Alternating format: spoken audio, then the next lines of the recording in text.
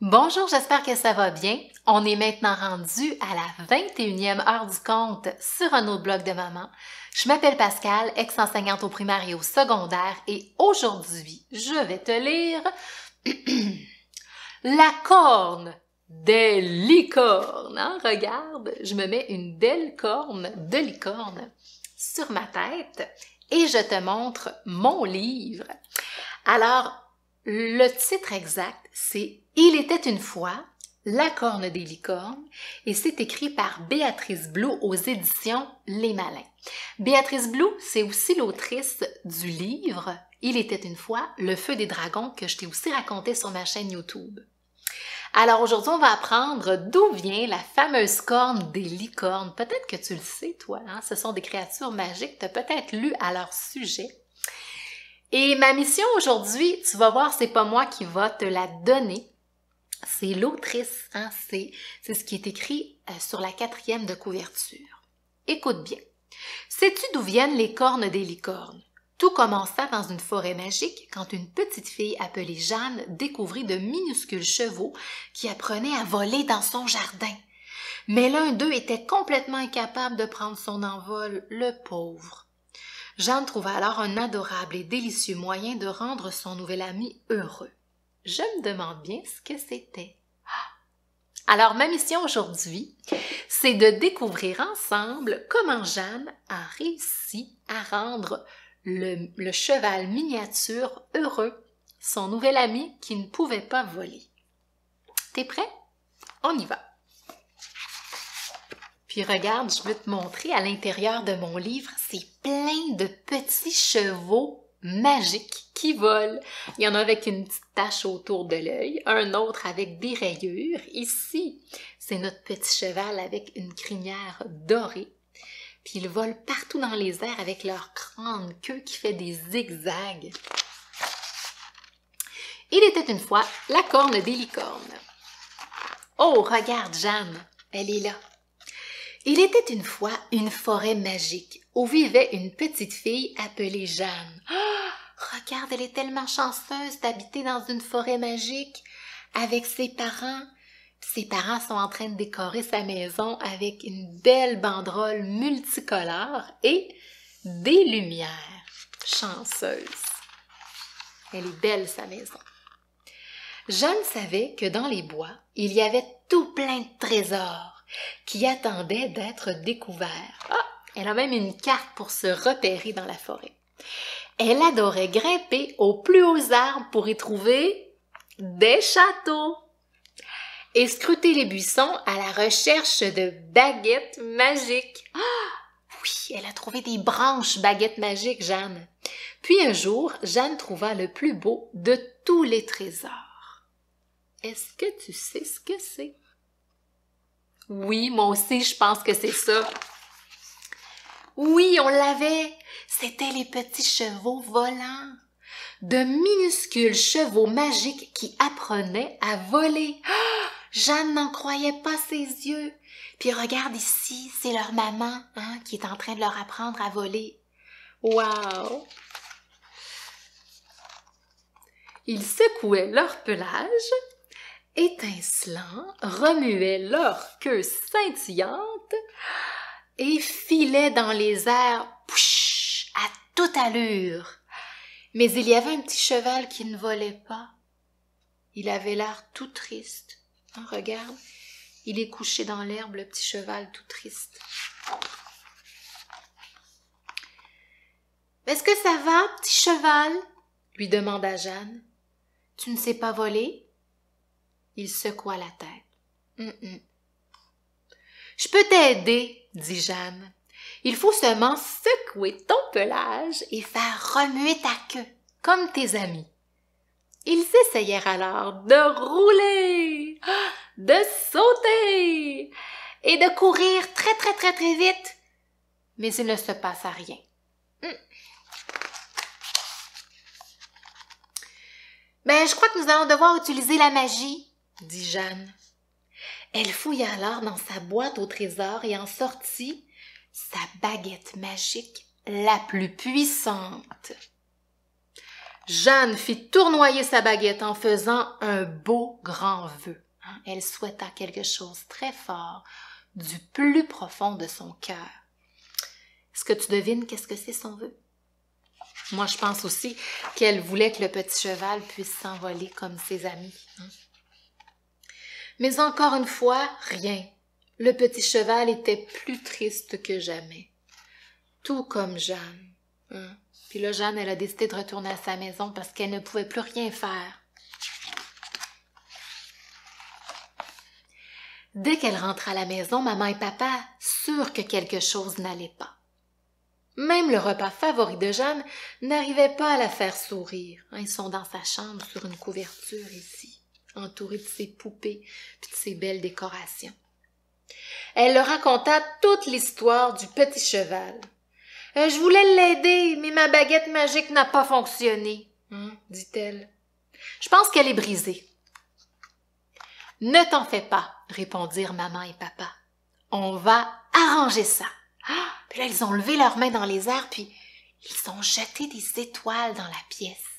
Un peu comme s'ils faisaient de la magie. Peut-être que tes parents, ils en des fois de la magie aussi, hein?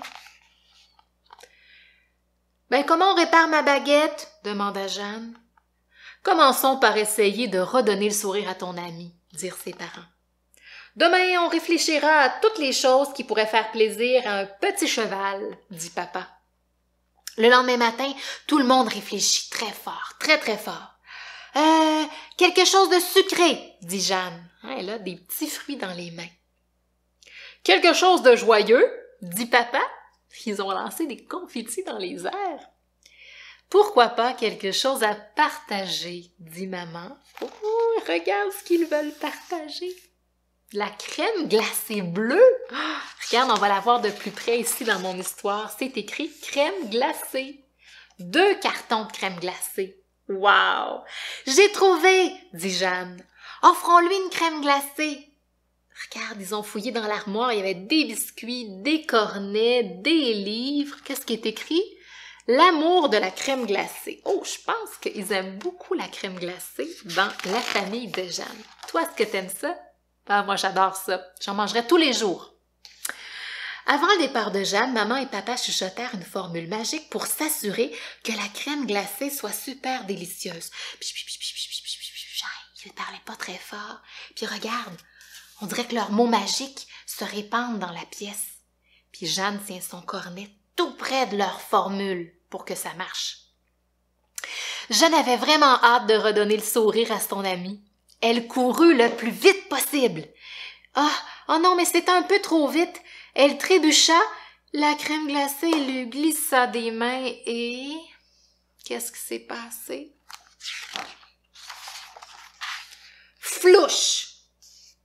C'était un désastre. Ah, la crème glacée est tombée. Mais regarde où elle est tombée. Sur la tête du petit cheval. Oh! C'est alors que Jeanne s'aperçut que le petit cheval aimait beaucoup sa nouvelle corne. Après tout, elle était parfaitement délicieuse. Ah, mais oui, c'est vrai, les cornets de crème glacée, c'est de la même forme qu'une corne de licorne. Ah, c'est un cône. Il sourit, puis se mit à rire. puis il secoua son pelage étincelant, remua sa queue scintillante et... Qu'est-ce qui va se passer, tu penses? On va tourner la page. Et ça fonctionna! Ce fut la plus belle journée de tous les temps. Depuis ce jour, les chevaux magiques s'appellent des oui, des licornes, car tous portent une corne en souvenir du jour où une petite fille est devenue leur amie. Tous les autres petits chevaux ont décidé de porter des cornes en mémoire du petit cheval au cornet de crème glacée. Regarde, le papa et la maman, je pense qu'ils sont fiers d'eux, hein? Ils se, ils se font un top là, puis Jeanne, elle est toute heureuse. Jeanne aussi porte souvent la sienne et elle n'oublie jamais la formule magique, celle de ses parents. Est-ce que tu veux qu'on l'apprenne, la formule magique? Je te la lis, elle est ici. La magie est en moi, cachée. Pas besoin de baguette pour voler. Wow, ça veut dire que tout le monde a un petit peu de magie en eux? Il suffit de croire en nous peut-être pour que ça fonctionne, d'avoir confiance. C'est sûrement ça que ça veut dire. En tout cas, c'est ça qui a aidé la licorne. Hein? Tout l'amour et la volonté de Jeanne pour aider son amie l'a aidé. Moi, c'est comme ça que je la comprends, mon histoire. Est-ce que tu as découvert comment Jeanne avait réussi à aider le petit cheval? Oui, en lui fabriquant euh, une corne, mais c'était pas vraiment ça son, son but, hein?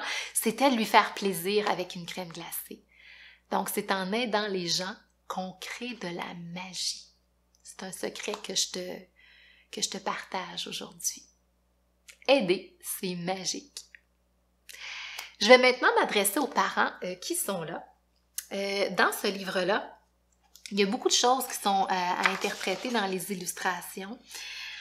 Puis, je pense que ça serait intéressant peut-être avec les enfants plus vieux de découvrir dans les pièces, parce qu'il y, a, y a vraiment des références aux années 70.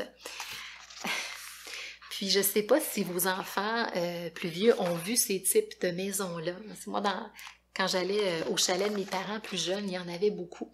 Donc, on n'en voit plus tellement dans les nouvelles constructions. Alors, on peut peut-être tenter de deviner l'époque ou du moins de regarder certains clins d'œil euh, que l'autrice et l'illustratrice ont fait pour euh, finalement nous évoquer cette, cette époque.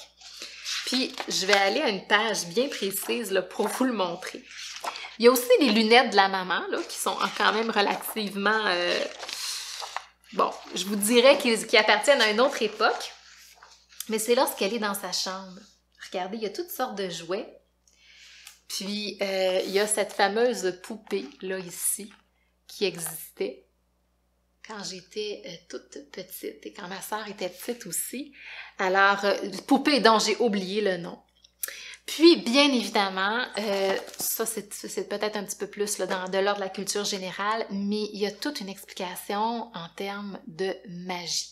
Parce que là, il y a des enfants qui vont vous dire, ah ben là, euh, est-ce que c'est vraiment magique? Est-ce que ça s'est vraiment passé pour vrai? Alors là, vous les laissez, vous, dans le fond, leur donner leur hypothèse, un petit peu comme je l'ai fait à la fin, puis vous allez avoir droit à toutes sortes de belles réponses et on, accepte ce que l'enfant va nous dire comme étant vrai au moment où euh, il le fait pour entretenir cette, euh, cette belle magie-là avec eux. Je vous dis à la prochaine, abonnez-vous à ma chaîne YouTube et on se revoit samedi.